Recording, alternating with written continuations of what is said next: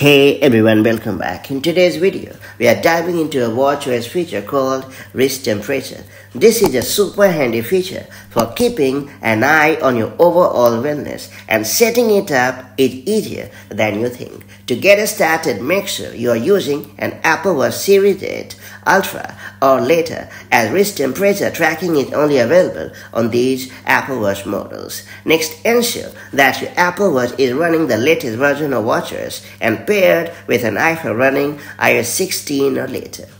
Then you have to head over to the Watch app on your connected iPhone. And then you have to tap on the My Watch tab located at the top left corner of the screen.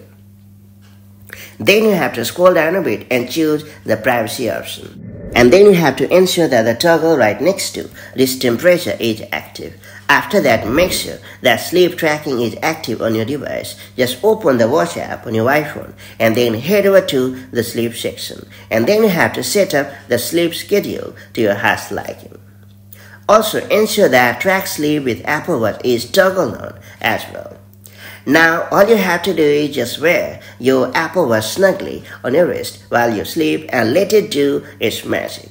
Once enough data is collected, you'll see trends in the Apple Health app under the wrist temperature section. You can track changes over time, which can be super useful for understanding your body's pattern. And that's pretty much it. Now that you have unlocked this super handy feature, make the most of it to enhance your health and I'll catch you up in the next one with more such handy watchOS tips and tricks. Have a great time. Bye bye.